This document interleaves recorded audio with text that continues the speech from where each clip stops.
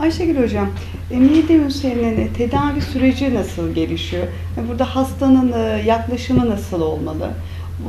Kısa süreli mi tedaviler gerçekleştiriyorsunuz yoksa uzun süreli mi tedaviler gerçekleştiriliyor?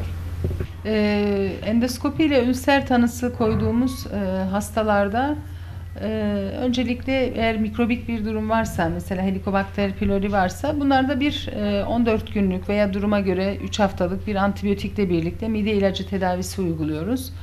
Arkasından da hastanın şikayetlerine göre 4 ay veya 6 ay sadece mide ilacıyla tedaviyi idame ettiriyoruz. Burada tabii ki hastanın uyumu çok önemli. E, ilaçlarını düzenli kullanması, diyetini yapması, e, düzenli kontrollerine gelmesi bunlar önemli. E, bazen ilk tedavi sonrası hasta iyiyim diye ilaçlarını kesiyor, diyetini veya aksatabiliyor. Dolayısıyla hastalık çabucak nüksedebiliyor. Onun için e, uzun süreli tedaviyle hastalığı kontrol altına almak, iyileştirmek çok daha başarılı oluyor.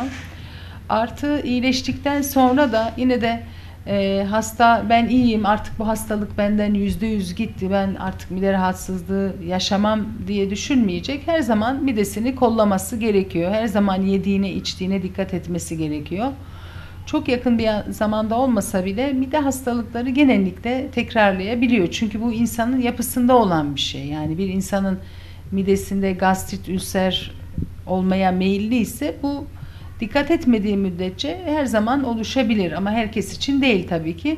Onun için genel olarak e, tedavi düzenli uygulayıp tedavi bittikten sonra da her zaman için e, yediğimiz, içtiğimiz gıdalara dikkat etmemiz gerekiyor.